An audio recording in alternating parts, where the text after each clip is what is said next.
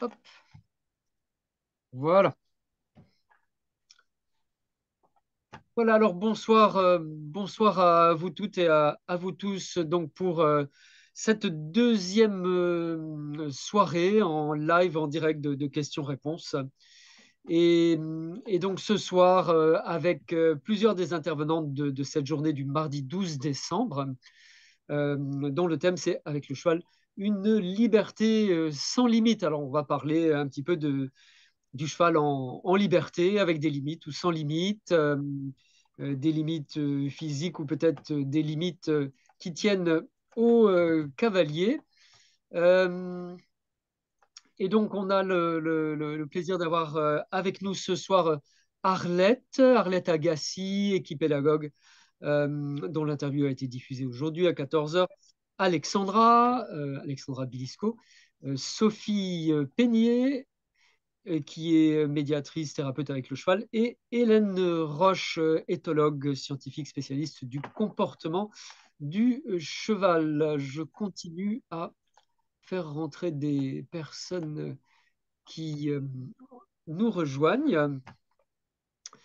Et, donc, aujourd'hui, une, après-midi sur ce thème de la liberté, la liberté avec le cheval.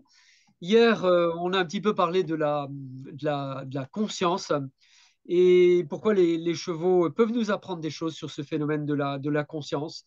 Et je crois que c'est un, vrai sujet. Hein. On dit que le sujet de la, de la conscience, c'est le sujet euh, d'exploration pour le 21e siècle, maintenant qu'on a exploré à peu près toute la planète. Eh ben, il reste à explorer ce, continent de la, conscience. Et euh, mon expérience, c'est que les chevaux nous, nous, aident à comprendre ce, qu'est la conscience euh, et, aussi à expérimenter euh, différentes formes de conscience, peut-être aussi à ne pas avoir de, préjugés ou de, projections sur la, conscience, et peut-être enfin à expérimenter différents types de conscience ou différents niveaux de conscience. Et le, cheval Maintenant, on le sait, il y a, des expériences scientifiques par euh, les éthologues, par Léa Lansade en particulier. C'est un animal qui a conscience de pas mal de choses, qui a conscience de, des émotions, qui est capable de reconnaître euh, son, euh, gardien, son propriétaire, qui est, capable d'interpréter un certain nombre de, situations et parfois il les interprète de façon très différente des humains. Donc, on va un petit peu explorer ce phénomène de la, la conscience et, je crois aussi que euh, le, phénomène de la conscience est associé à la, liberté. Et quand on n'a pas de conscience, euh, eh ben, il n'y a, y a, pas non plus de, liberté.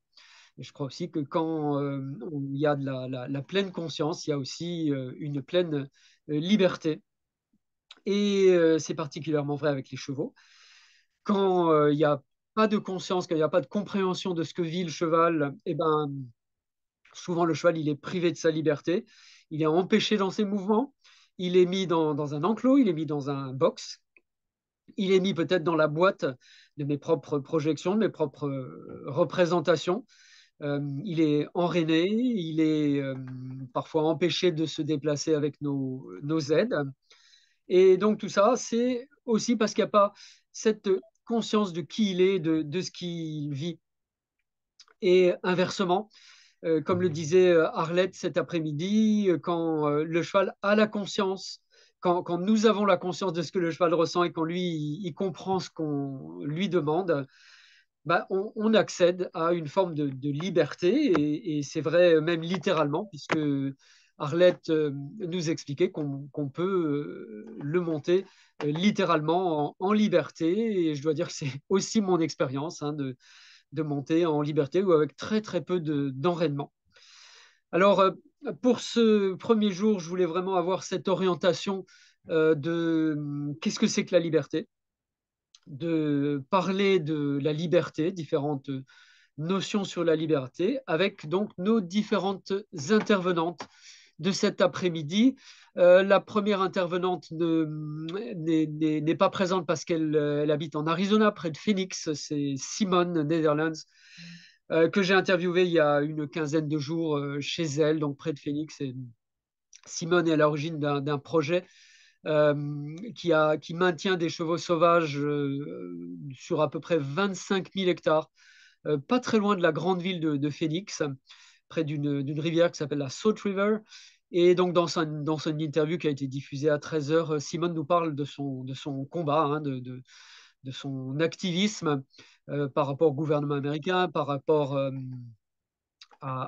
au, BLM, c'est l'équivalent de l'ONF aux États-Unis, pour euh, réussir à maintenir des chevaux sauvages dans, euh, disons, à peu près leur milieu naturel, avec certaines, euh, certaines limites tout de même mais euh, donc sur 25 000 hectares. Et, donc, elle explique un petit peu ce, projet. Ça m'a fait euh, pas mal penser, je dois dire, également au projet de, de Hélène Roche avec le, projet euh, TAC, hein, sur le, le Cosméjean, avec le, projet donc de, de des, chevaux de euh, et puis bah, peut-être que, que, Hélène nous en parlera un petit peu, puisqu'elle est avec nous ce soir. Également euh, cet après-midi, euh, donc euh, Arlette Agassi nous parle de son approche du cheval en liberté avec l'approche de, de l'équipédagogie, la pédagogie Akita, ou avec une équitation en liberté. Également, Blandine nous, a parlé de son expérience d'avoir des chevaux dans, un espace naturel en Corse et dans une, également en, liberté, aussi de ce que signifie d'être à sa place, de prendre sa place, et c'est certainement en rapport avec cette notion de liberté. Euh, Alexandra, euh, tu nous as parlé tout à l'heure euh, de, ton, lieu ressource, de, ton lieu refuge qui s'appelle la légende de Tara. J'espère que tu vas nous, en parler un peu, nous parler un peu de tes projets.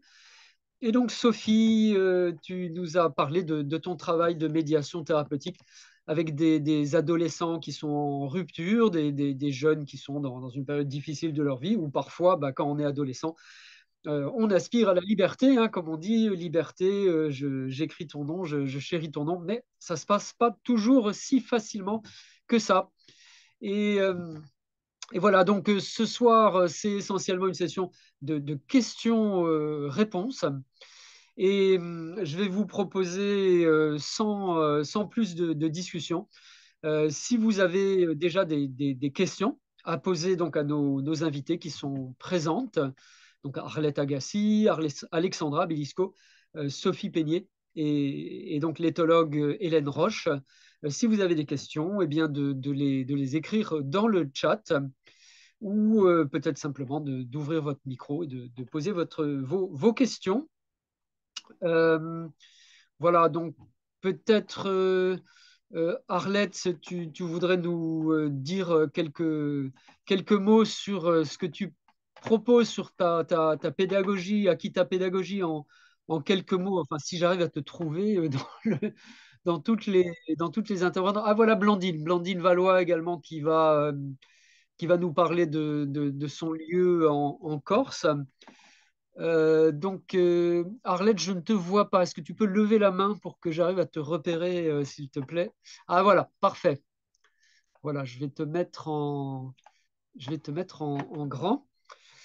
Voilà, donc euh, Arlette, euh, comment est-ce qu'on peut apprendre à, à, à, monter en liberté avec les, avec les chevaux? Comment comment c'est possible ça? En quelques mots, hein Écoute, euh, Sylvain, j'apprécie ta question, mais je pense en même temps que j'y ai répondu dans le petit échange qu'on a eu ensemble. Ouais. Et puis, ben, concernant ce que je fais, j'ai pas envie non plus de prendre trop de temps euh, euh, ce soir pour parler de ça, parce que je pense qu'il y a beaucoup d'informations sur le site internet d'Akita Pédagogie, donc j'ai pas envie de prendre trop de temps euh, pour que chacun puisse aussi s'exprimer. Alors, je préférerais, si tu es d'accord, euh, rajouter oui. quelque chose. oui à cette histoire de liberté spatiale du cheval que j'ai pas euh, euh, abordé dans notre entretien. Si tu es OK, est-ce que c'est OK pour toi? Oui, oui, je t'en prie. Je ce, prie ce temps sûr. de parole, je l'utilise plutôt pour ça. Puis après, ouais, les gens, s'ils veulent en savoir plus, ils vont sur mon site internet. Par contre, je, je dirais volontiers deux mots sur mes équipes pédagogues après, qui sont des OK, avec plaisir. ce que j'avais envie de rajouter par rapport à notre entretien la dernière fois, j'y ai pensé après quand on a, j'ai revu le, les, le, les questions-réponses là, c'était que euh, tu vois, moi, cette recherche, je l'ai commencée quand j'avais 14 ans. Ouais. On commençait à monter à cheval. Donc, à cette époque-là, ben, les chevaux, ils étaient dans des manèges, dans des box, dans des stalles. Et moi, j'ai évolué dans ce contexte-là. Et j'ai très très rapidement euh, identifié beaucoup de sources de mal-être des chevaux.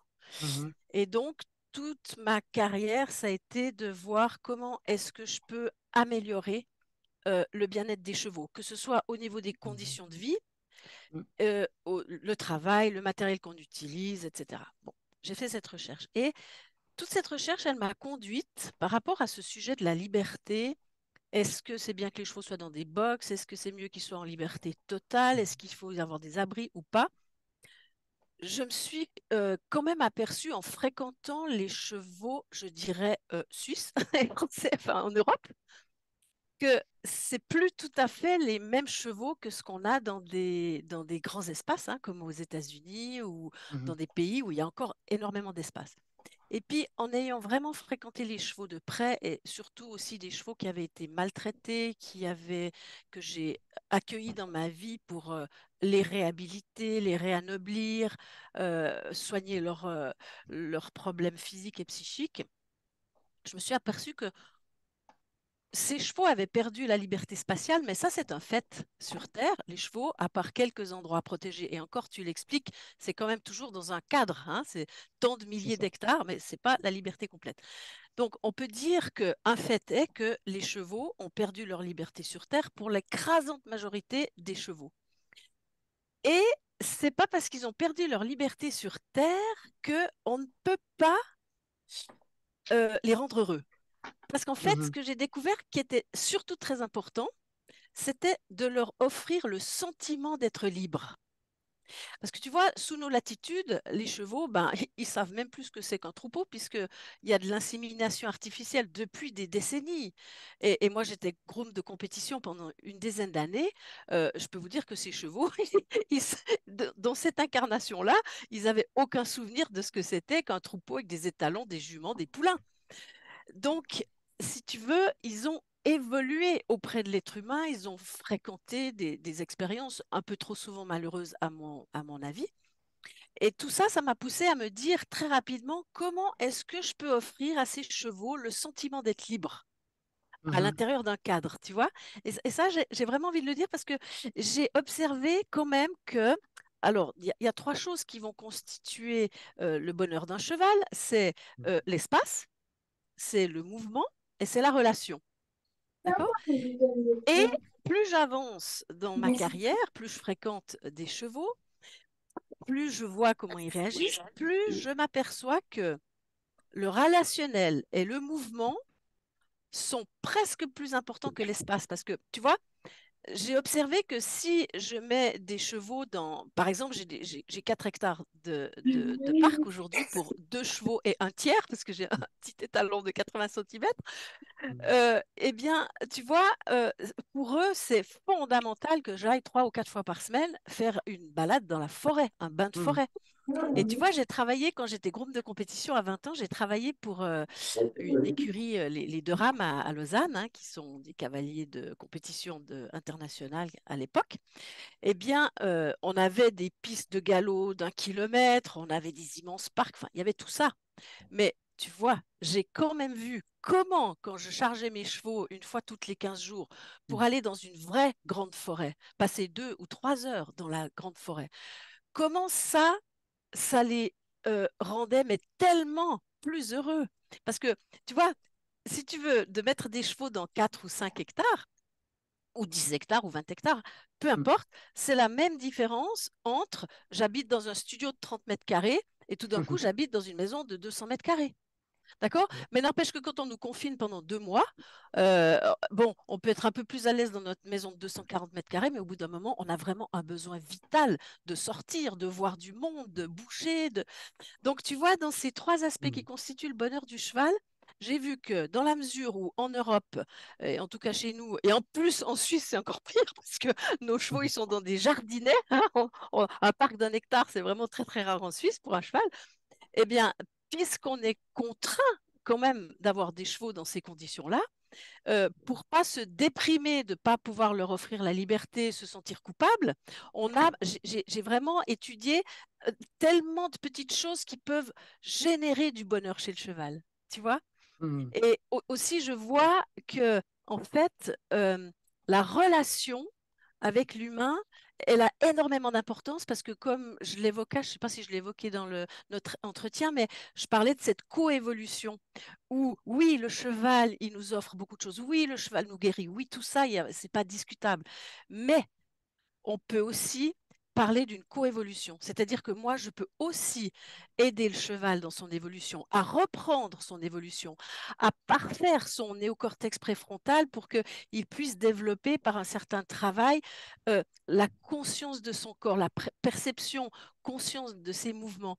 Et tout ça, ça génère du bonheur chez le cheval. Parce que tu vois, finalement, on parle de ce sujet de la liberté, mais c'est pourquoi? Pour que notre cheval, il soit dans le bonheur. Tu vois? Donc, ça, pour moi, j'avais pas pu le dire, mais j'avais envie de, mmh. préciser cette histoire de liberté, tu vois? c'est surtout le mmh. sentiment d'être libre. Parce qu'autrement, on, est déprimé, tu vois? Sinon, tous ces gens qui ont des chevaux dans des centres équestres, qui peuvent pas leur offrir euh, même le minimum, euh, il y a des solutions pour les rendre heureux, les chevaux. Puis c'est des choses qui ne mmh. coûtent pas cher et qui peuvent vraiment donner ce sentiment d'être libre. Merci, merci Arlette. Merci. Euh, je... Donc, il y, a des, il y, a des, questions qui commencent à arriver. Donc, je, je, vous propose, je vais, euh, je vais euh, laisser la parole aux différentes intervenantes de cet après-midi qui, qui, sont là.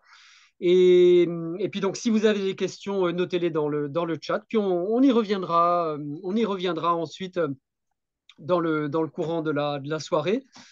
Alors, et, et, et, donc, c'est sûr que le cheval n'a pas forcément la même perception de, de l'espace. Hein. Je, suis, je suis assez d'accord euh, avec. Euh, j'ai le même euh, j'ai le même type d'expérience. Hein, mais par contre, pour lui, hein, une, une, partie de son espace, c'est le temps qui passe avec l'humain, c'est l'espace avec son avec son, son gardien.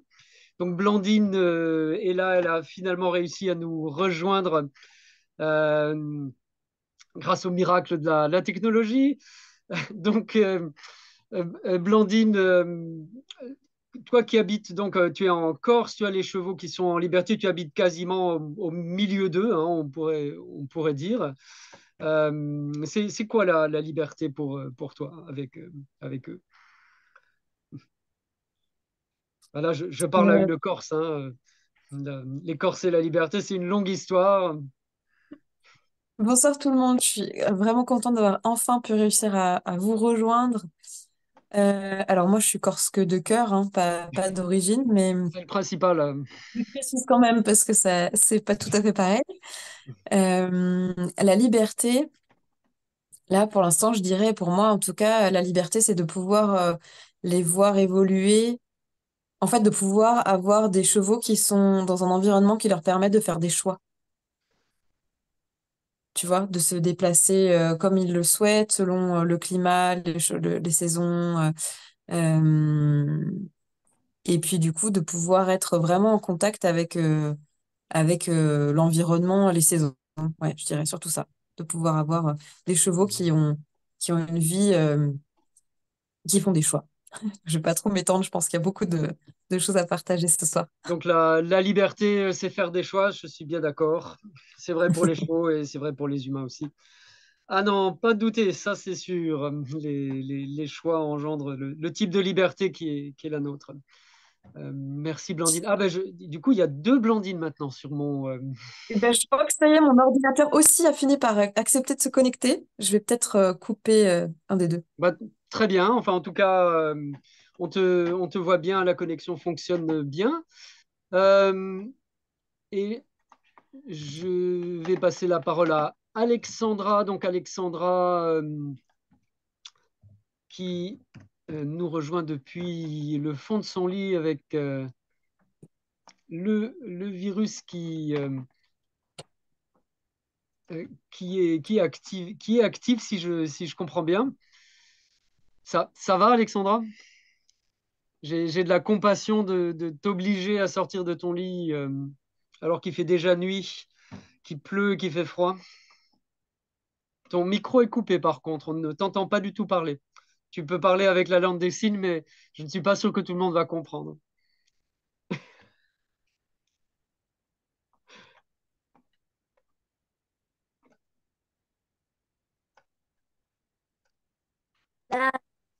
Voilà.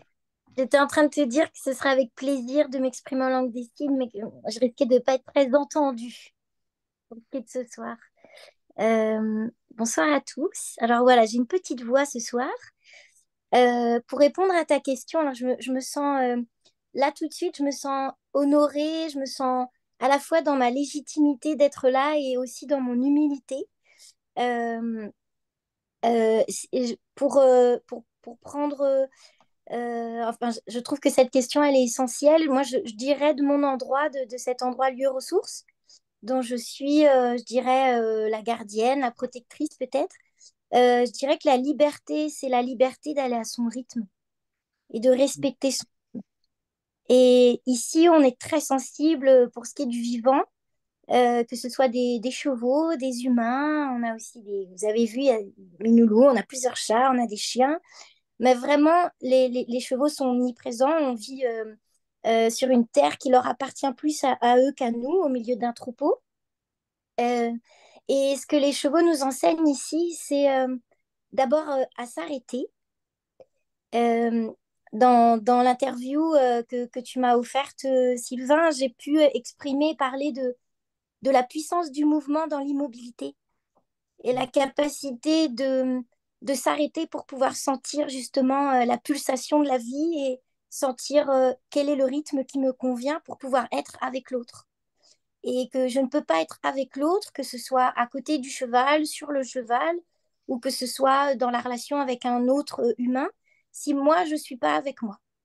Et pour ça, il y a besoin d'un espace, un espace de suspension, parce qu'on est dans un monde où le temps, la temporalité est devenu presque euh, difficile à, saisir, tellement on vit dans une forme d'instantanéité euh, permanente. Et, et, donc la liberté d'aller à son rythme euh, dans cette immobilité, mais aussi dans la cyclicité, tu le sais, la saisonnalité qui m'est très chère. ici, on apprend à, prendre son temps et à écouter le temps. On est en ce moment à l'automne. Et l'automne nous apprend beaucoup de sagesse sur le fait d'apprendre la lenteur, la lenteur de l'hiver, que ça vient pas d'un coup et que l'automne, c'est la saison des choix, la saison de... Blandine parlait des choix, la saison de, renforcer ses relations, de, se sentir en sécurité et du coup de, faire, de prioriser.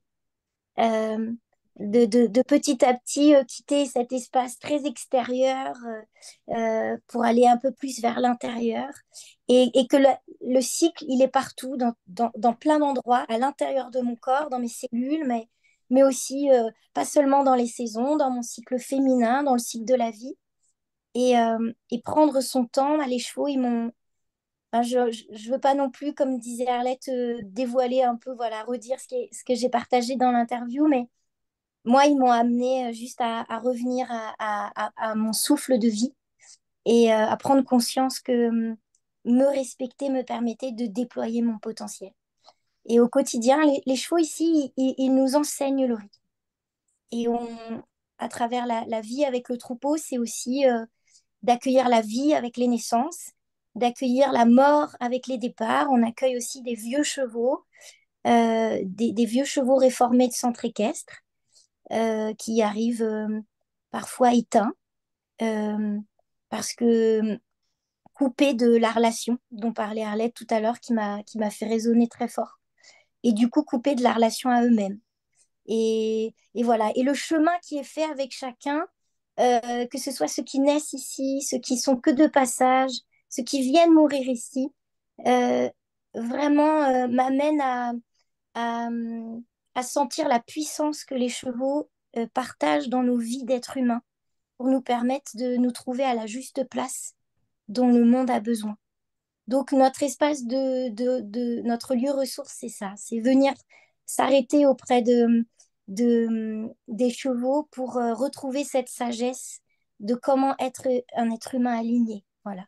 Avec toute l'humilité dont je vous parle, parce que je suis une, une enseignée euh, même si je m'estime accompagnante ici, je suis une enseignée parmi, euh, parmi ces chevaux.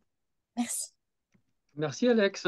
Donc la liberté euh, d'être dans le, cycle de la, de la vie, hein, c'est sûr que, en tout cas, il y a hum, une, dans, les traditions, les traditions indigènes, il y a, vraiment cette notion de cycle qui est assez fondamentale avec les, les chevaux. Il y a notre intervenante de la, qui est membre de la nation Navarro qui va parler demain et mm, elle parle un peu de, ce, cercle de la vie, ce cycle de la vie. Merci beaucoup pour ce, témoignage de la, liberté.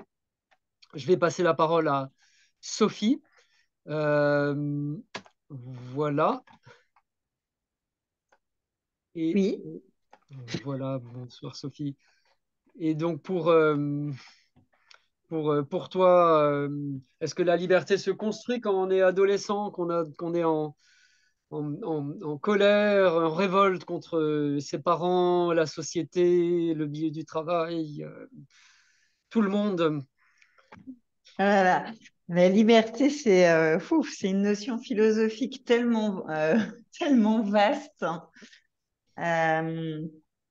oui, alors il y a effectivement dans, dans, le processus adolescent, mais finalement, on, va être reconvoqué à, plein d'étapes de, notre vie. Euh, et en particulier aussi dans la transition de milieu de vie, je suis en plein dedans, euh, sur euh, les attentes, entre les attentes qu'on peut euh, que les autres, les parents en particulier, hein, mais les, adultes peuvent avoir euh, pour leur enfant, leur adolescent, et euh, ce qu'on essaye de devenir, ce qu'on choisit d'être. et cette connaissance de soi-même, en fait, je pense que la liberté, en tout cas, qui, concerne chacun, la liberté individuelle, elle est là aussi. Euh, dans cette recherche de qui on est. Mais je, pense qu'en fait, ça prend toute une vie. Euh, après, euh, je ne sais pas, qu'est-ce que tu voulais que je dise? Pourquoi? Non, y a, alors il y a, y a, une question, donc Claire, Claire, Claire Morin, qui pose cette question, qui te pose cette question concernant la posture de l'équithérapeute vis-à-vis des parents des, des ados. Donc, euh, Oui, je peux peut-être clarifier la question. Oui, vas-y. voilà, peut-être que Claire peut préciser la, question. Je, ne fais que euh, lire euh, ce que tu as écrit dans le. J'ai été interpellée dans ta conférence par rapport à, la manière dont tu parles de la posture et ça m'a vraiment touché touchée aussi, comme tu, tu l'amènes. Et du coup, j'avais un petit questionnement par rapport à ça. Tu, tu exprimes bien comment, à quel point c'est important, notamment avec les ados, de d'être en même temps engagé et de poser des limites. Et, euh, et du coup, j'avais un questionnement, en tout cas euh, personnel, hein, par rapport à ta pratique, de comment tu as intégré du coup euh, les parents dans, dans cet accompagnement. Si tu dédiais des temps spécifiques hors séance, de temps en temps, si, Comment? Parce que c'est très compliqué avec les ados et les enfants, euh, la frontière de la confidentialité et en même temps le suivi pour le, la relation familiale dans la systémie. C'est ouais, ça intrigué en fait. J'aimerais bien. Ouais, c'est exactement ça. Alors, en fait, euh, très franchement, j'ai pas de modèle. Euh, encore une fois, c'est une question de liberté. Pardon. ça va vraiment dépendre au cas par cas. D'une part, d'où vient la demande euh, quand, je travaille avec euh, des institutions, par exemple, que ce soit sanitaires ou médico-sociales, euh, ça va passer par, par l'équipe. Et donc là, euh, je n'ai pas directement euh, accès aux parents, mais il y a euh, une transmission qui se fait avec les échanges que les équipes peuvent avoir avec les parents. Mais là, je ne vais pas travailler directement avec eux. En revanche, quand les demandes viennent directement des parents, je ne pratique pas de thérapie familiale parce que je ne suis pas thérapeute familiale, mais il y a toujours des temps dédiés avec les parents, que ce soit en présence du jeune ou, euh, à distance. Euh. Mais le jeune est toujours euh, au courant, en tout cas, des échanges qu'il peut y avoir. Et quand on arrive à... Enfin, le mieux, c'est quand on arrive à établir un échange ensemble. de manière à ce que voilà, les, euh, ce qui est en train d'évoluer pour, pour le jeune puisse être euh, intégré à l'ensemble du système familial. Voilà. Après, si, euh, si c'est la, parole, enfin, je dirais le, oui, la parole du jeune, en tout cas où il en est, son rythme qui vont euh, donner un peu le timing de euh, cette possibilité d'intégrer les parents. Enfin, Mais en tout cas, je les implique toujours, ça c'est évident. Hmm. Je ne sais pas si je réponds à ta question. Euh, oui, oui, enfin, tu réponds à ma question et du coup, par rapport au thème de la liberté, est-ce qu'ils est peuvent mettre un veto à ce lien avec les parents? Est-ce que est-ce que l'adolescent peut de lui-même mettre un veto au, lien avec les parents? Bien sûr. Enfin, en tout cas, il y a des choses qui se passent. Alors, euh, c'est un peu technique. Ce qui peut se passer en séance, c'est rare. Alors, parfois, ça peut arriver qu'il y ait des séances qui, parce que ça va être intéressant de travailler euh, par enfant, voilà, sur, sur euh, certaines, euh, certains aspects, voilà, mais ça se décide ensemble. Et parfois, il y a quelque chose de l'ordre de l'intime qui, qui, va concerner le jeune et uniquement le jeune, et pour lequel ça ne sortira pas de la séance. Et euh, libre à lui ensuite d'en parler à son parent. Mais en tout cas, euh, quand on travaille sur l'intime, il y a pas de, il y a un respect en tout cas de, de, de ce que vit le jeune. Oui, c'est sûr, c'est un peu le, contrat euh, thérapeutique avec.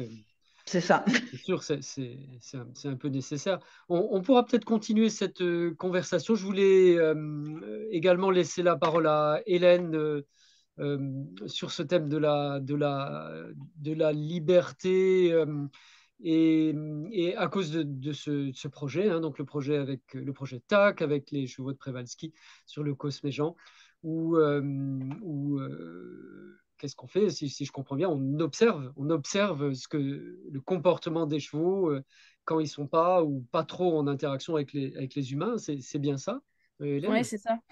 Euh, la particularité, là, c'est qu'on a des chevaux qu'on va pas euh, manipuler euh, et qu'on est sur un projet quand même un petit peu différent. Et, c'est amusant parce que, que, entre le projet que tu présentais à côté de Phoenix et puis ce que disait Arlette aussi, mmh. je pense qu'on est un peu entre les deux, justement, avec le projet de l'association TAC, où on a des chevaux qui sont préservés parce que c'est une espèce menacée.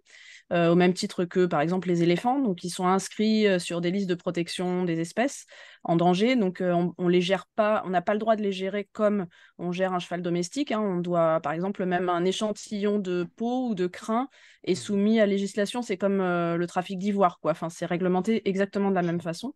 Donc déjà, c'est pour situer un petit peu les choses. Ah, et quand on voit comment on traite les Mustangs aux États-Unis, c'est sûr que c'est pas la même chose. Ça, c'est vrai. Pas du tout. Non, pas du tout. Alors, euh, ils, voilà, ils bénéficient d'un statut particulier, ces chevaux. Et hum, pour aller sur le sujet de, de la liberté, ben, nous, ils ont euh, un enclos euh, dont ils bénéficient qui fait 200 hectares et on fait une alternance avec un autre enclos qui fait 200 hectares. Donc, ils n'ont jamais les 400 hectares à leur disposition, mais ils vivent sur 200 hectares. la liberté, ben, en fait, c'est quand même contraint puisqu'il y a des clôtures et que arrive un moment où bah, la population, elle peut pas croître indéfiniment. Donc, on, soit on intervient par de la contraception sur les juments, soit on choisit de sortir un groupe de chevaux, un groupe social, euh, donc des chevaux qui s'entendent, qui ont d'eux-mêmes créé des liens entre eux et qui sont ensemble depuis au moins plusieurs mois, sinon plusieurs années parfois, euh, et, de les envoyer sur euh, d'autres sites où il y a de l'espace. Alors là, pour le coup, on tient quand même à cette notion d'espace. on ne va pas les envoyer, par exemple, dans des zoos, euh, ce qu'on pourrait hein, faire, parce qu'il y a des zoos qui ont des chevaux de Prévalsky. Mais du coup, c'est plutôt des projets, on parle de réensauvagement. En ce moment, c'est un terme pas mal à la mode, le rewilding. Donc voilà, les derniers chevaux nous sont partis en 2015 en Russie, sur des grands espaces. C'est un groupe familial qui est parti. Donc, la notion de liberté, elle est quand même contrainte euh, et, euh, et elle a un coût aussi pour ces chevaux-là. En tout cas, c'est voilà, ils sont en autonomie, euh, ils, se, ils se gèrent par eux-mêmes. Et ce que je trouve intéressant par rapport à la réflexion d'Arlette qui parlait de, des chevaux domestiques qui ont évolué avec nous, je pense que la différence pour les chevaux de Przewalski, c'est ça, c'est que eux, ils n'ont pas évolué avec nous, même si on a des des informations maintenant liées à l'analyse génétique sur de l'ADN extrêmement ancien, qui nous informent que ces chevaux, il y a de ça 5500 ans, voilà, euh, il y a 5500 ans. Ils ont été au contact des humains. On parle de première domestication du cheval, mais en fait, euh, euh, rien ne prouve qu'ils ont été montés. En tout cas, ils ont été peut-être mis dans des enclos, peut-être ils servaient de nourriture pour nous, soit la viande ou peut-être même le lait de jument. Mais en tout cas, passé un certain temps, ils ont retrouvé leur liberté. Et ils n'ont pas évolué, pour le coup, sur le plan génétique, suite à cet épisode qu'on appelle donc aujourd'hui de domestication. Euh, contrairement à notre cheval domestique qui, lui, euh, montre dans son patrimoine génétique des changements par rapport à, son ancêtre avant qu'il soit euh, en fait domestiqué. Parce qu'il y a eu donc une deuxième domestication qui a porté sur d'autres chevaux que les chevaux de Przewalski. Et donc, ces chevaux sont devenus les chevaux qu'on connaît aujourd'hui. Et on n'a plus de enfin, on n'a plus de, si vous voulez, d'individus euh, originel de ce qu'était cet ancêtre de notre cheval domestique actuel. Et donc, euh, tous ces chevaux qu'on a dans le monde entier euh, qui sont libres ou plus ou moins libres, donc ça, je vais juste revenir là-dessus, comme les Mustangs, par exemple, aux États-Unis, eh ben, ce sont des chevaux domestiques retournés à l'état sauvage il y a plusieurs centaines d'années. Et, et, en fait, cette notion de liberté, ben, elle est mise à mal partout dans le monde, quoi. Euh, que même les Mustangs, alors c'est pas homogène hein, sur le territoire américain, il y a quand même plein d'endroits différents qui sont pas gérés de la même façon par, euh, tu disais Sylvain, le Bureau of Land Management.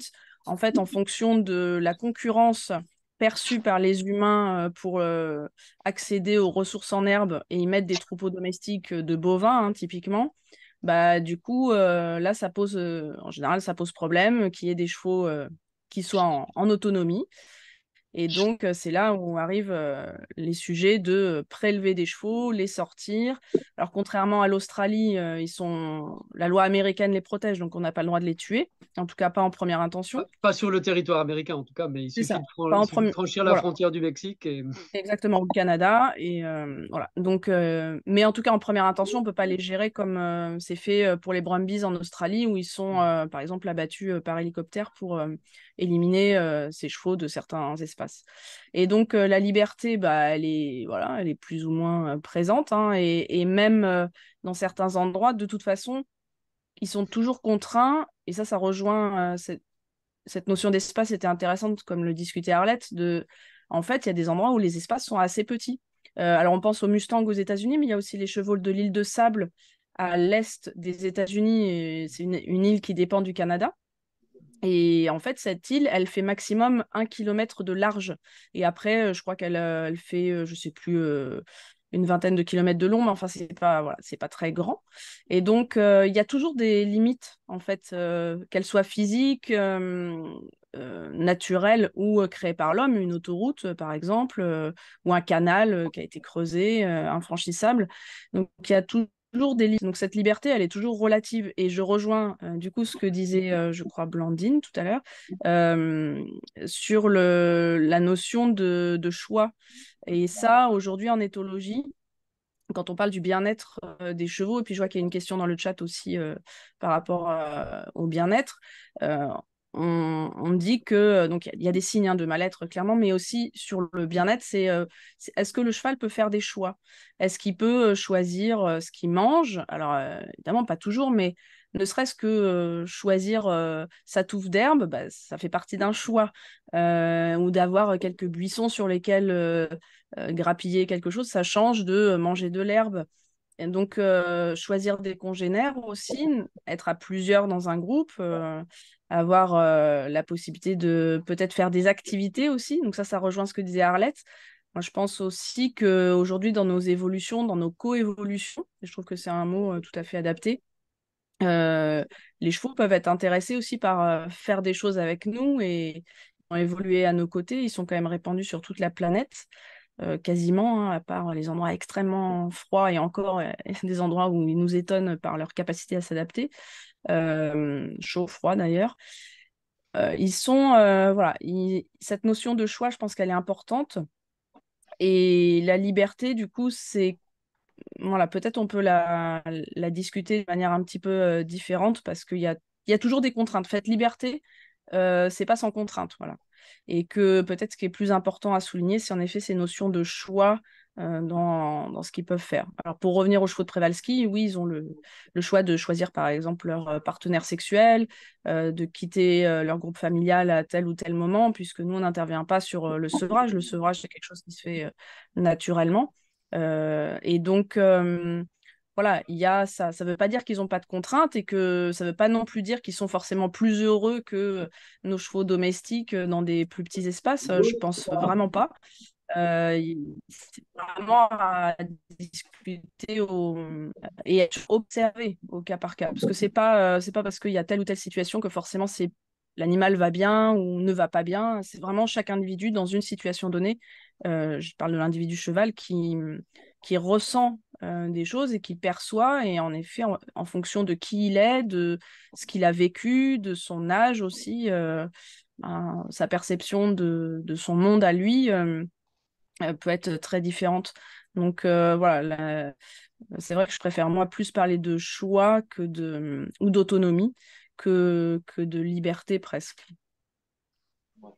Merci beaucoup Hélène, euh, réponse euh, très très complète et aussi avec donc ces, arguments scientifiques. Moi j'adore quand la, science finalement rejoint l'observation des, cycles naturels et puis aussi un peu le, bon sens. On parle de coévolution, on parle de liberté du, choix et, aussi d'évolution génétique. Hein, et, ça, je, crois que c'est très important. Ça veut dire que le, les chevaux qui sont aujourd'hui dans les centres équestres, ils, ils, ne viennent pas, ils ne viennent pas de, ils ne viennent pas des chevaux. Euh, euh, anciens, euh, ce sont pas les, les... ils n'ont pas évolué à partir des chevaux de Przewalski, si, si, je comprends bien. Euh, il n'y a, ouais, y a, y a pas d'évolution directe en fait. une autre lignée. Ils sont très. En fait, il y a eu deux. Les chevaux euh, qui ont donné nos chevaux domestiques actuels et les chevaux de Przewalski ont divergé il y a 45 000 ans. Alors nous, ça nous paraît super loin à notre échelle d'humain. Mais en fait, à l'échelle de l'évolution, pour les paléogénéticiens, les archéologues, etc., c'est euh, presque hier. Quoi. Euh, mais euh, il n'empêche que c'est quand même deux branches euh, différentes. Et donc, non, les chevaux, en effet, domestiques ne viennent pas des chevaux de Przewalski. C'est une autre branche qui, visiblement, s'est davantage prêtée à, aux conditions de vie peut-être qu'on leur a proposées, ou même, enfin, par exemple, quelque chose auquel moi je n'avais pas pensé, c'est assez récent là que cette hypothèse-là a été mise en avant, que la domestication implique de vivre pour le coup sur des plus petits espaces, donc de regrouper des animaux sur des plus petits espaces, et ça veut dire qu'il faut qu'ils s'entendent bien, ou en tout cas qu'ils ne se bagarrent pas trop euh, pour que quand même ils puissent euh, vivre ensemble et se reproduire sans trop euh, de heurts. Et, euh, et ce qu'on se dit aujourd'hui, c'est peut-être que les chevaux domestiques actuels avait cette potentialité à évoluer vers, en effet, euh, plus de hum, socialité et en tout cas moins de conflits dans des espaces euh, plus réduits par rapport aux chevaux de Przewalski qui, on le constate aujourd'hui, euh, supportent pas très bien quand même euh, de vivre trop proches les uns des autres. Alors attention, hein, je il faut être très prudent là-dessus, mais en gros, quand l'espace se réduit, on a des tensions peut-être plus fortes qui arrivent plus rapidement sur ces chevaux-là que sur des chevaux domestiques. Mais attention, évidemment, tout ça avec euh, certaines conditions, on peut avoir le même résultat avec des chevaux domestiques, mais voilà, dans les grandes lignes, euh, ça semble être euh, un facteur qui pourrait avoir fait qu'on ait abandonné les chevaux de Przewalski comme candidat pour voilà, la, domestication, la domestication. et qu'on ouais, et qu'on ait choisi un meilleur candidat un peu plus conciliant par rapport à, à ce qu'on envisageait comme mode de vie pour eux et, et à commencer par euh, côtoyer des congénères euh, peut-être de manière un peu plus, un peu plus proche. Voilà. Ah oui, c'est passionnant. Et, et justement, puisqu'on parle de, de bien-être euh, de bien animal, mmh. on, a, on a cette question dans le chat euh, de la part de Delphine, donc, qui nous dit J'adore les chevaux, je n'ai pas les, les moyens d'avoir le mien, mais je suis soucieuse de leur bien-être. Comment identifier si un cheval va bien ou va mal? Comment identifier un club qui prend réellement soin des chevaux? Et donc, c'est une question qui est adressée euh, à, toutes les, intervenantes. Euh, Alors, moi, je fais une, petite. Euh, je voulais peut-être répondre par écrit pour ne voilà, pour pas monopoliser non plus la parole, mais il y a des éléments observables qu'on peut avoir. Donc, si Delphine a le temps et l'envie, moi j'ai donné des, des, critères observables, notamment dans mon livre qui s'appelle Apprendre à observer les chevaux. où il y a plusieurs fiches qui donnent une méthodologie scientifique sur comment on observe pour voir qu'un cheval va bien ou au contraire ne va pas bien. Euh, donc il y a plusieurs fiches là-dessus, euh, qui est tout à fait applicable euh, quel que soit le lieu de vie du cheval. Hein. Ça peut être au pré, ça peut être dans une écurie, au paddock, voilà. Et puis euh, donc on peut faire ça. Et puis Mon cheval est-il heureux à l'écurie aussi, qui est un livre qui reprend les essentiels sur euh, les besoins des chevaux et euh, certains éléments qu'on peut, qu'on peut observer. Et puis après, je pense que je peux laisser la parole aussi aux, autres personnes, mais je vais donner allez, un indicateur qui, qui me semble assez facile à repérer, un des plus peut-être les plus faciles, c'est l'agressivité des chevaux. Déjà, si on a plusieurs chevaux ou poneys qui sont agressifs vis à -vis des humains et de leurs congénères, euh, c'est déjà un signal d'alerte fort sur le fait que ça va pas, en tout cas pour cet individu. Et euh, si on a plusieurs chevaux ou poneys qui présentent cet état émotionnel-là, euh, c'est un voyant rouge probablement sur ce qui se passe.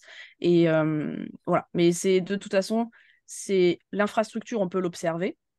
Mais c'est surtout l'état émotionnel des animaux, et pour ça, on a des éléments observables à partir du comportement. Mmh. Merci. Ouais, les chevaux mordeurs, les chevaux tapeurs, oui, on c'est sûr que c'est un, un, signal. Ah, Arlette, tu, as peut-être des choses à dire sur le, bien-être des chevaux? Oui, je crois qu'il y a beaucoup de choses qui ont été écrites, observées, comme le souligne euh, très bien. Euh, bah, écoute, on, t'entend à peine. Euh, je ne sais pas si tu peux ou monter le son ou peut-être parler plus près du micro. Un là, tu m'entends mieux? Ça va? Oui. Attends, je vais voir si je peux monter le micro un peu, mais je crois pas.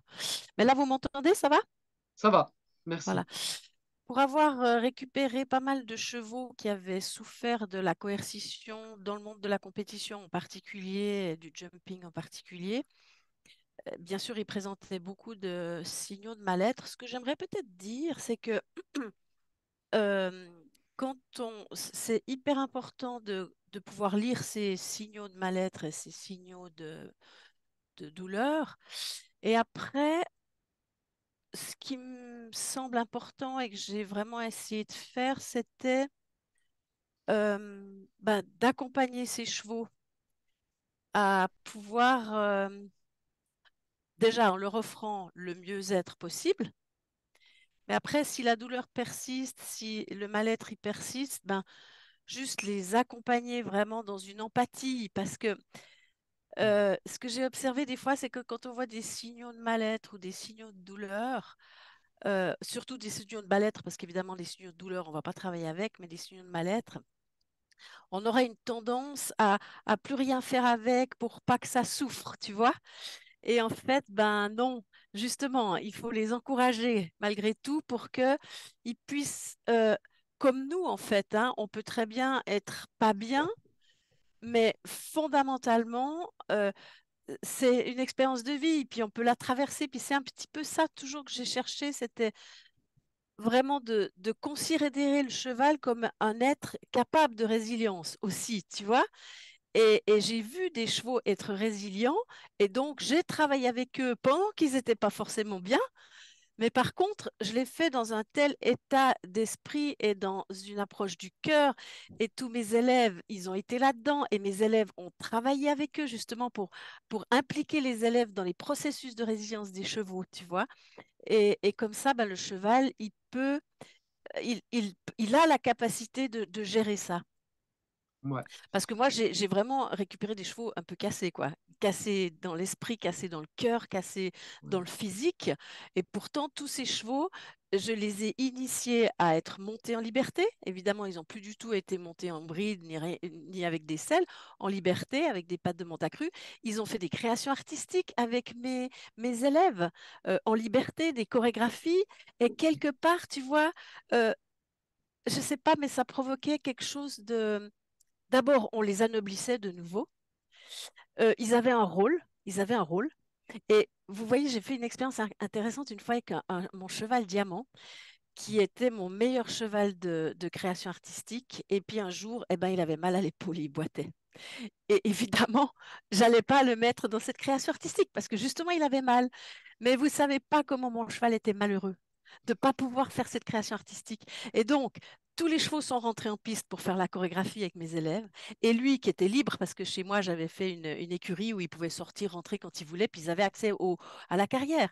Eh ben, mon cheval, il a passé toute la chorégraphie derrière la barrière à regarder les autres. Mais j'ai tellement vu dans son regard, tu vois, que je l'avais amputé de, la joie d'être avec les autres.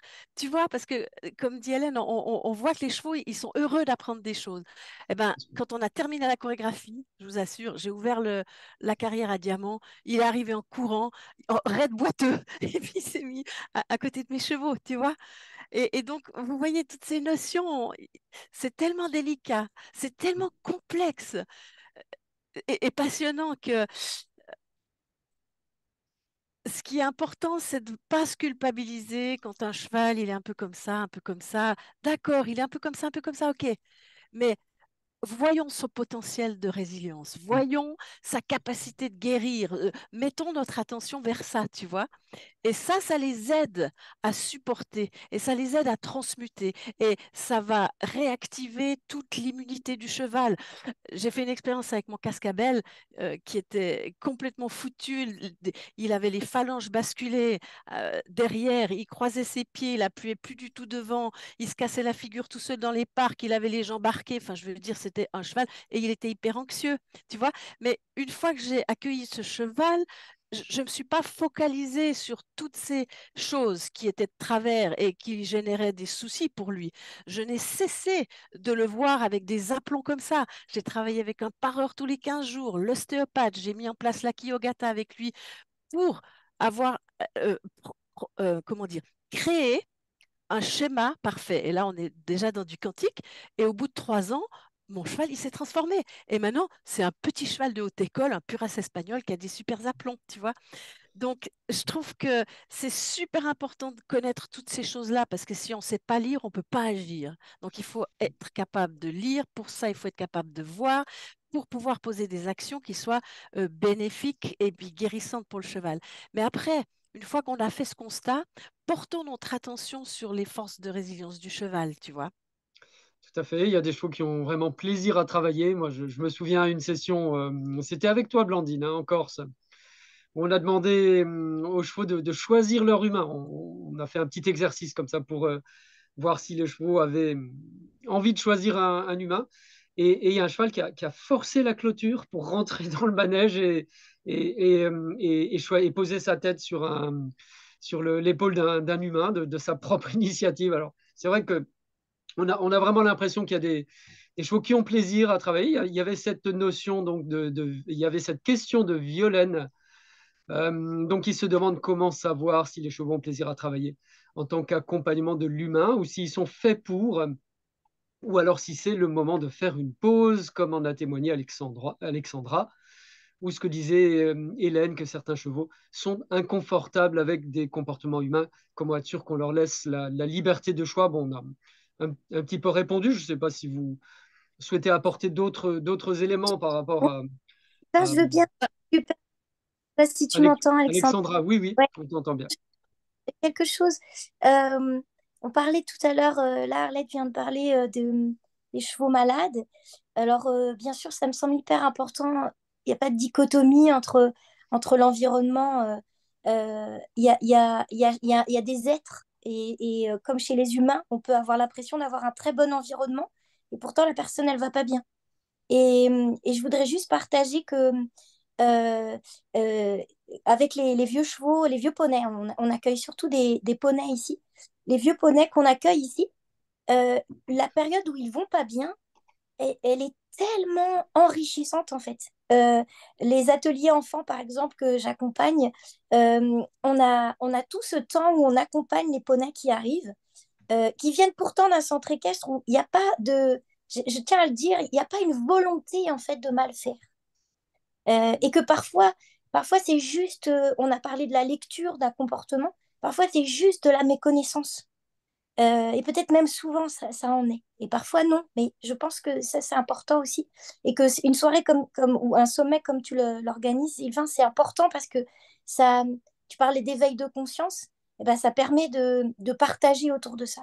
Mais il y a aussi que euh, parfois, euh, quand, quand un, un, un, cheval ou un humain va pas bien, on a, on a très envie de le guérir.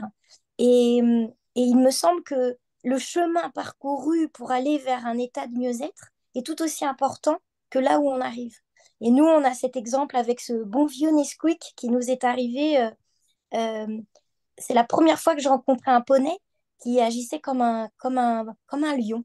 Lui, euh, dès qu'il est arrivé ici, il, voulait juste se jeter sur les humains et surtout sur les enfants parce qu'il était terrorisé de voir un enfant.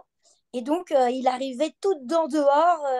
Je n'avais jamais vu ça. J'avais accueilli un certain nombre de vieux chevaux, de vieux poneys, mais là, vraiment, c'était une, expérience incroyable.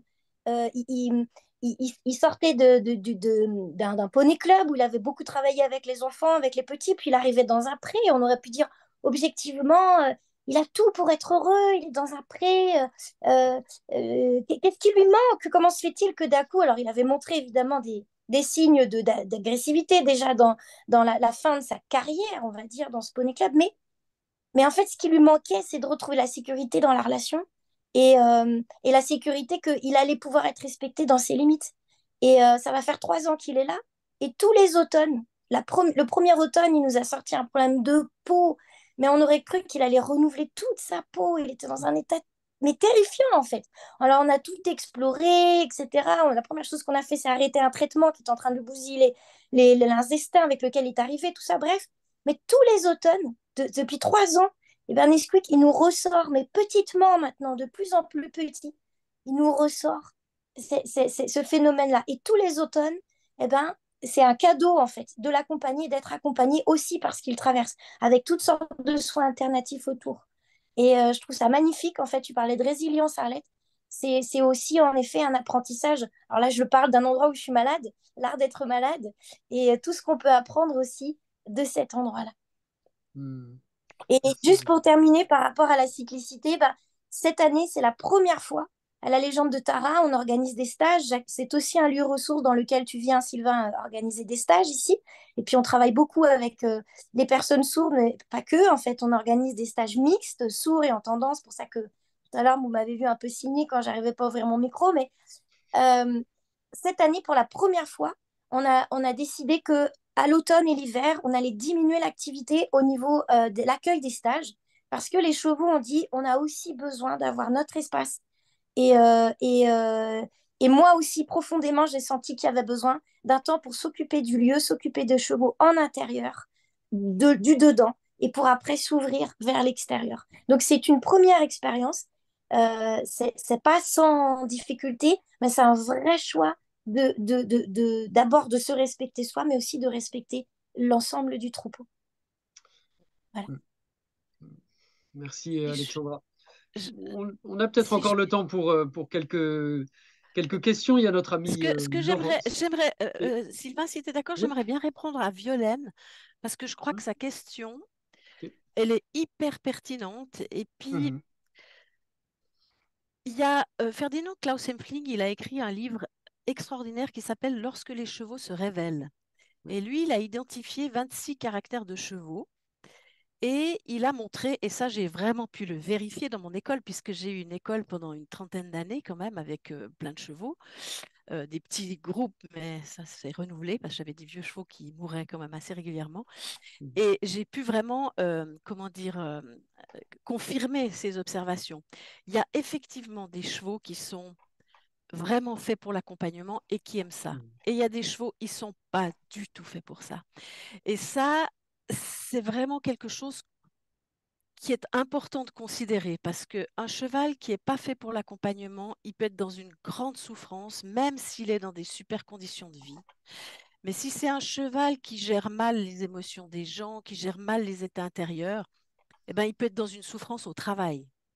Comme un cheval qui est fait pour l'accompagnement, il va souffrir le martyr dans le sport parce que c'est pas un athlète, c'est pas un compétiteur, c'est pas un athlète. Et le choix du cheval pour l'accompagnement est quelque chose de pas du tout simple parce que euh, et j'aimerais bien vraiment qu'on et, ça peut, et ça peut évoluer au cours de sa vie aussi. Ça peut évoluer, mais ce qui est important, c'est de considérer cette chose-là parce que il y a un, engouement justement pour l'hypothérapie, pour l'équithérapie, pour toutes ces choses-là. Mais euh, il n'y a pas forcément autant de chevaux qu'il y a de, de, dans cet engouement, tu vois, tous ces gens qui se forment, s'ils n'ont pas leurs propres chevaux, ils vont trouver des chevaux où? Et moi, quand même, j'ai observé, par exemple, quand j'étais en Suisse, là, j'ai vraiment observé que on utilise, certains équithérapeutes, par exemple, utilisent des chevaux dans les centres équestres sans se questionner à ce sujet et ils les utilisent souvent pendant leur jour de congé, parce que toute la semaine, ils ont des cours. Donc, les, handicapés, ils viennent pendant le jour de congé des chevaux, tu vois. Donc, ça, c'est une question qui me semble importante à fréquenter quand on veut créer un espace pour accompagner des gens c'est le, choix du cheval. Le choix du cheval, et puis effectivement, le rythme. Et par exemple, moi, dans mon école, j'ai travaillé beaucoup avec des personnes qui avaient subi 17 ans de torture. J'ai fait des actions humanitaires, j'ai travaillé avec des personnes handicapées, psychiques, physiques, émotionnelles, etc. Et j'ai toujours fait en sorte qu'il y ait un équilibre entre les séances d'accompagnement de personnes qui étaient en difficulté et puis les promenades avec des enfants légers qui allaient très bien, et puis les créations artistiques qui étaient aussi quelque chose de super pour les chevaux parce qu'ils travaillaient ensemble dans une création. Et quand on peut offrir des activités diverses pendant la semaine, les chevaux peuvent très bien gérer l'accompagnement. Mais par exemple, j'ai eu une jument, Laguna, qui était vraiment une assurance vie. Je l'ai un petit peu trop fait travailler pendant quelques temps pour des personnes un peu lourdes euh, psychologiquement, mmh. elle m'a développé une pathologie pulmonaire. J'ai dû la sortir carrément de l'accompagnement parce que c'était une jument qui avait un cœur, un cœur, un cœur, un cœur, un cœur. C'était une assurance vie.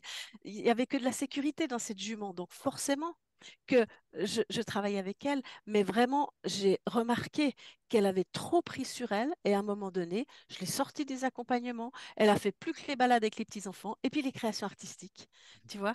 Donc, je pense que cette question, on, se, doit, de la fréquenter quand on accompagne des, des personnes. Et, et, comme dit Sophie, bien sûr que ça peut évoluer, mais il faut avoir ça à l'esprit pour pouvoir euh, observer vraiment. Est-ce que mon cheval, il est fait pour ça ou pas?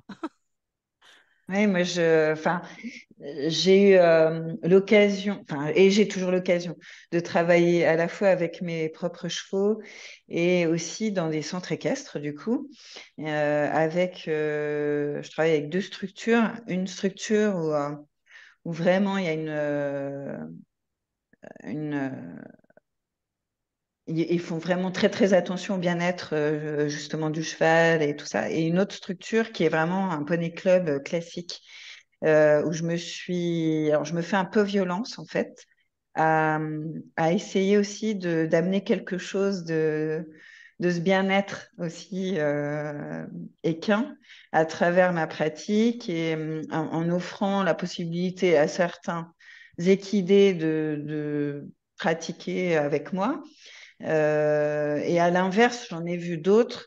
Euh, j'ai travaillé aussi dans des structures où on faisait que de la médiation équine avec des chevaux épuisés. Donc moi, j'ai vu vraiment tous les, tous les cas de figure. Et, je pense que c'est un peu comme nous, au cours de la vie euh, d'un cheval, il y a, il y a peut-être des moments où ils ont besoin de faire autre chose, des moments où au contraire, ils ont besoin d'y venir. Enfin, c'est pas, euh, c'est jamais figé. Et tant qu'on est à l'écoute, en fait, de, euh, comme, comme on pourrait le faire avec, euh, avec nos collègues, en fait.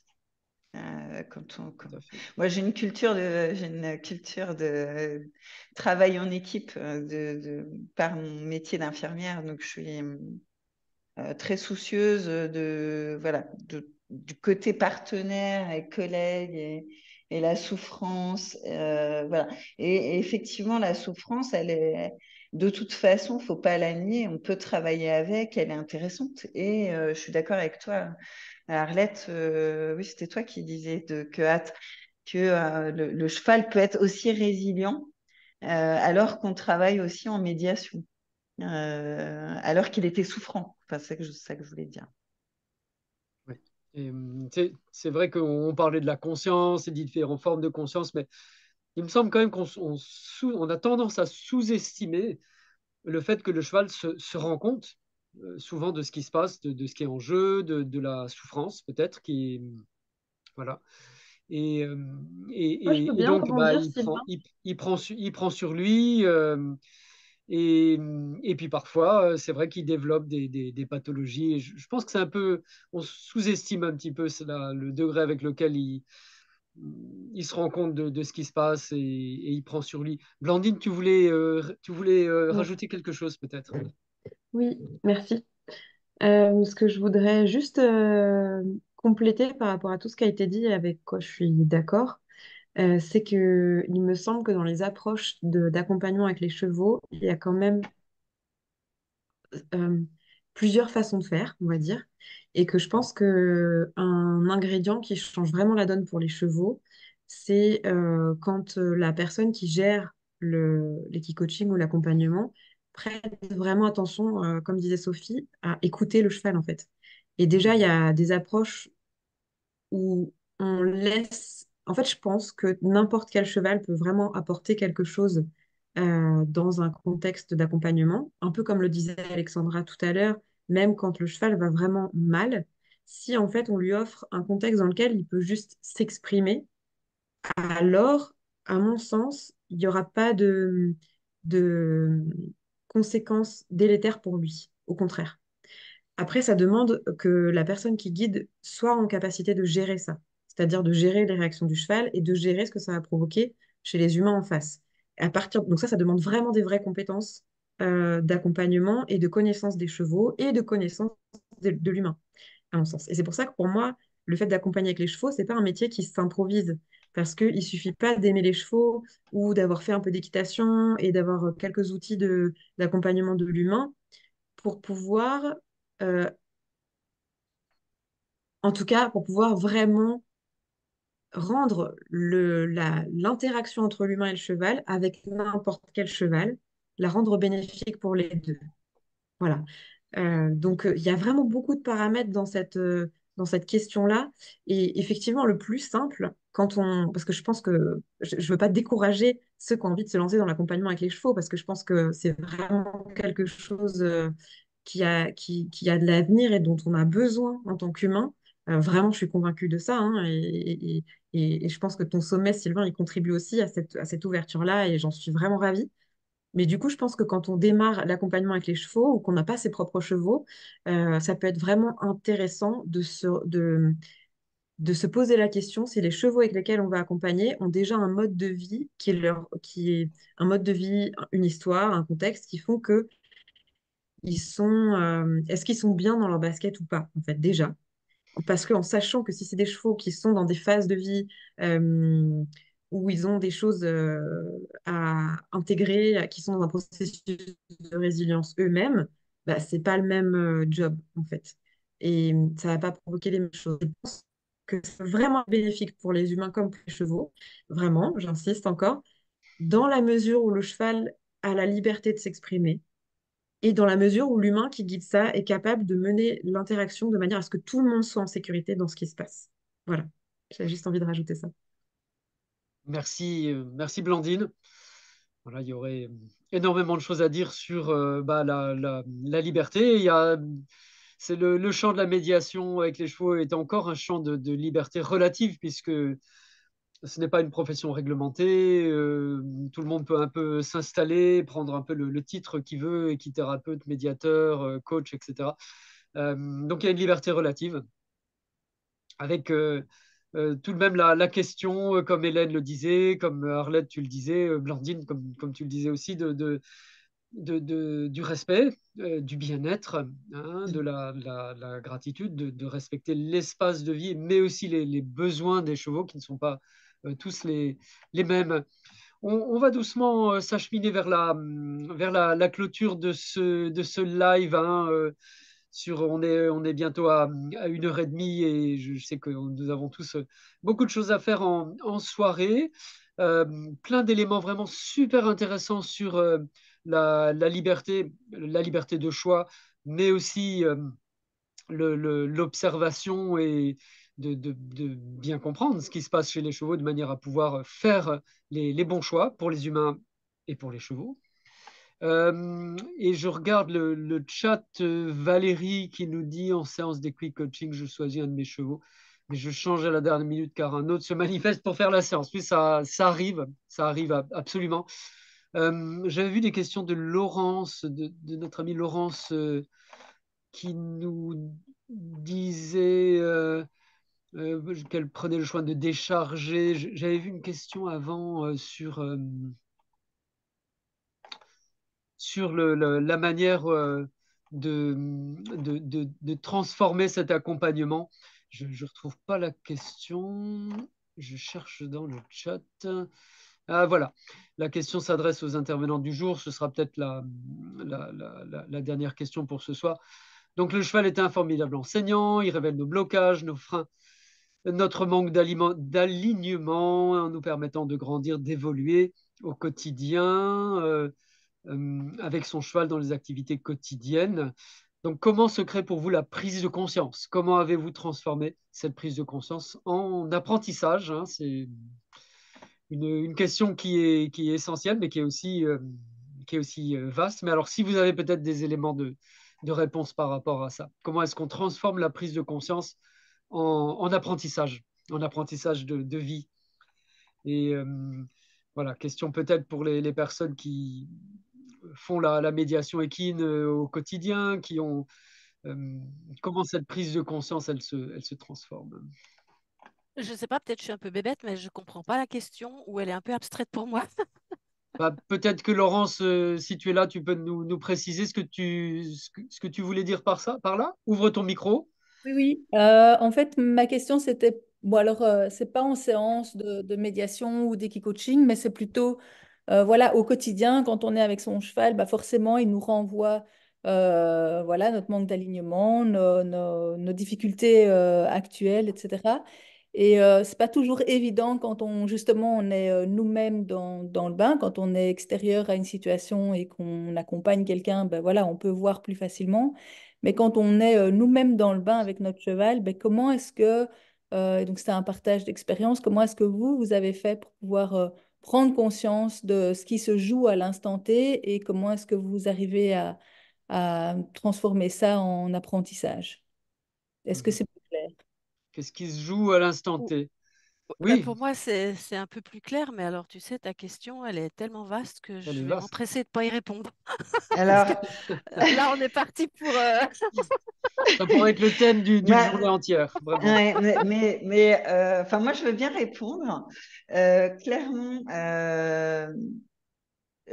c'est possible quand j'ai un tiers extérieur. parfois, moi, toute seule, j'y arrive pas.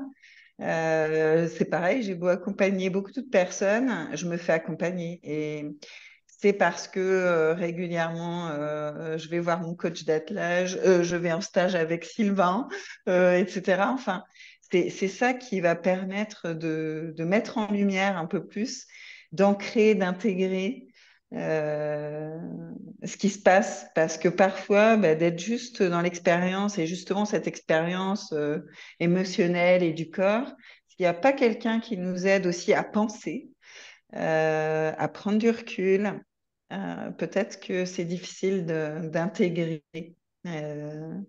voilà. Après, il y a aussi une question d'expérience, mais on a besoin les uns des autres, c'est ça que je voulais dire. Le besoin, le besoin de supervision parfois, ou en tout cas euh, du travail en équipe. Oui, clairement, la, montée en compétence, enfin, si l'apprentissage, si, si, tu entends ça aussi, mais la montée en compétence, et même si c'est dans, dans sa vie, hein, simplement grandir, mais euh, oui, la supervision, euh, c'est ce qui permet de cette montée en compétence. Voilà, merci. en entendant, en entendant Sophie la répondre, là, je, vais faire un, élément de réponse quand même moi, cette, ces prises de conscience et ces apprentissages, ils se sont faits. je, me suis formée à des, à choses qui n'avaient rien à voir avec les chevaux. Parce que quand j'ai commencé à enseigner et accompagner, ben, je me suis rendu compte que je m'énervais comme tous les moniteurs qui m'avaient enseigné à l'époque et puis qui m'avaient bien détruit j'avais tellement pas d'outils pour enseigner, puis je voyais tellement que ça jouait pas pour mes chevaux, puis c'était tellement difficile à gérer pour moi que je m'énervais. J'avais pas les outils, j'étais vraiment euh, toute, euh, toute verte là-dedans. Donc pour moi, c'était impensable de faire une carrière d'accompagnante ou d'enseignante de, l'équitation sans connaître l'humain. Et donc, j'ai commencé à suivre des formations de psychosophie, de réhabilitation des corps sensibles, de médecine chinoise. Enfin, je, me suis intéressée à l'humain parce que je me suis dit, mais je ne peux pas mettre l'humain euh, l'élève ou le patient, avant d'être un patient ou un de mes élèves, c'est d'abord un être humain. Je ne peux pas mettre sa vie dehors de ma carrière puis m'occuper juste de l'élève qui apprend l'équitation ou d'un patient. Il fallait que je comprenne cette humanité. Et donc, j'ai, je suis partie évidemment dans un travail de connaissance de soi très profond. Avec, j'ai rencontré, j'ai fait énormément de formations dans ce domaine. Et puis, forcément, tout ce que je découvrais dans ces formations, je les importais dans mon rapport au cheval. Et là, j'ai commencé non seulement à bonifier mon enseignement, mais surtout, j'ai commencé, la, enfin, la relation avec mes chevaux s'est complètement transformée. Puis évidemment, dès qu'une question apparaît à notre esprit, parce qu'on on, grimpe un petit peu dans un autre espace de conscience, ben, on a de toute façon quelqu'un qui arrive dans notre vie, effectivement, pour nous éclairer sur ce qu'on vient de vivre ou de découvrir. Et les chevaux, c'est vraiment l'expérimentation consciente. Tu vois, tu vas expérimenter, ça fonctionne pas, tu observes que ça fonctionne pas consciemment, tu ajustes ta posture, ça fonctionne, tu prends note. Et ce qui, ce qui aide beaucoup, c'est de se passionner, de la, se passionner pour la phénoménologie. Parce que l'accompagnement, l'accompagnement des chevaux des humains, c'est avant tout une phénoménologie. Il y a, il y a une alchimie, il y a une configuration euh, qui va créer des phénomènes. Et si on peut se passionner pour ça, c'est très enseignant ça aussi. Alors, merci, ça va être. Euh, euh, on, va, on va aller vers le mot de la fin en tout cas. Mhm. Euh, Est-ce que je peux rajouter un petit truc, Sylvain, qui sera très rapide? Bien sûr. Merci. pour ma part, quand, enfin, ça me parle beaucoup cette question, maintenant que, qu'elle est clarifiée, quand effectivement je suis dans une situation avec un de mes chevaux et que mhm. Euh, je, me sens en difficulté et que je me rends bien compte qu'il y a quelque chose qui ne va pas, pour moi, la première chose qui m'aide concrètement à transformer la prise de conscience en intégration, c'est de ralentir. C'est de ralentir. de Oui, ralentir et, euh, et revenir vraiment dans le corps. Et en général, ça change, ça paraît euh, peut-être euh, bateau ou évident, mais en fait, en général, quand on se trouve dans une situation en difficulté comme ça, c'est qu'il y a quelque part où on est, on plus, euh, soit on est accroché à je veux, je veux à un objectif, à quelque chose dans notre tête, euh, soit on est monté en émotion, soit les deux. Et du coup, en fait, le fait de ralentir, de respirer, de revenir à nos sensations corporelles, déjà, ça, ça va au moins désamorcer. Et puis, ça peut permettre à, à quelque chose de, à un autre espace de s'activer en Mm. Complètement. Merci, euh, merci pour ce, cet ajout et puis bah, pour nous, pour nous, nous rappeler hein, que la, la, conscience euh, du corps, hein, et puis quand on parle de, pleine conscience, c'est aussi d'être pleinement conscience de ce qui est en train d'émerger, ce qui est en train de, de, se, de se jouer. Et puis si vous avez fait un stage avec moi, bah, vous, vous, avez dû entendre ça de très nombreuses fois déjà, parce que c'est vraiment euh, important. Les, les, chevaux nous, nous, aident nous aident à ça. Ils nous aident sans doute à devenir de, de, véritables êtres humains, ce que nous ne sommes euh, pas toujours. Et, euh, et, et donc, euh, je, je vois qu'il y, y, a pas mal de gens qui commencent à, qui commencent à nous dire que ils ont d'autres choses à faire ce soir. On va, on va clôturer dans, dans quelques minutes et pas avant de vous avoir vraiment remercié pour vos ajouts, pour vos, remarques, pour les, réponses, hein, pour euh, ce, live de ce soir. Merci beaucoup, euh, euh, Hélène, hein, pour les, éclaircissements. Et c'est, bon, on dit toujours que la, génétique, tout ça, c'est une histoire de savants. Non, non, non, je pense que c'est très, très important de, comprendre que. que bah, les, chevaux que nous voyons, c'est pas forcément. Ils ont coévolué avec nous, même sur le plan génétique, c'est plus les mêmes chevaux que dans, dans le passé. Merci Alexandra pour euh, les, cycles hein, et puis pour ton, travail à la légende de, Tara comme lieu ressource. Et euh, donc Sophie, euh, merci. Vraiment, je conseille de regarder ton, ton, interview et de la re-regarder encore parce que c'est important ce qui se passe avec les, adolescents en rupture. Et je pense que le cheval, la, relation avec le cheval, c'est vraiment quelque chose qui permet d'améliorer les choses et qui a une composante thérapeutique et, et, également psychologique. Donc merci à Blandine pour nous avoir nous rappeler que notre, notre véritable place, bah, c'est là, là l'endroit que je connais le mieux, c'est l'endroit où je suis, je suis déjà présent à l'intérieur de, mon corps. Et donc Arlette, un grand merci également pour toutes les réponses, les, les éclaircissements. Hein. c'est un honneur de, t'avoir avec nous pour ces témoignages de toute ton expérience en équipe pédagogie. Je voudrais vous dire quelques mots euh, sur la journée de demain avant de nous quitter. Donc demain, mercredi 13 décembre, on a une journée sur le thème le cheval pour se reconnecter à la nature sauvage ou peut-être à soi-même. Donc avec différentes intervenantes, euh, des, des, intervenantes qui ont une expression artistique comme Virginia Della Valentina, comme Alexandra qui est une artiste équestre, euh, et euh, Aurélie également, qui est, productrice, qui a fait ce film à même souffle, Leila Pagès, avec le film Sans attache, euh, Rebecca, qui nous parlera des cultures du cheval, Laetitia depuis le Canada, et le docteur Kelsey Dale John, qui nous parlera des cultures euh, traditionnelles du cheval chez les peuples indigènes d'Amérique du Nord, spécialement les, Navarros qu'elle connaît le mieux. Donc voilà pour le programme de demain. Bonne fin de soirée à vous. Euh, bonne, euh, voilà, bonne visionnage de, ces, de ces interviews donc, qui, qui sont sur YouTube. Elles apparaissent euh, sur YouTube à, à l'horaire de l'interview. Hein, et on se retrouve demain soir pour continuer les échanges donc, avec les intervenantes de la journée. Merci encore à vous tous. Merci à vous toutes d'avoir été présentes ce soir. Et bonne journée. À demain soir. Merci. Au revoir. Bonne soirée. Au revoir. Merci à vous. Bonne soirée.